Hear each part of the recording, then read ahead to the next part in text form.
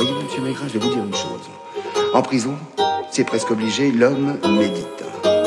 Résultat, j'ai la poésie dans la viande.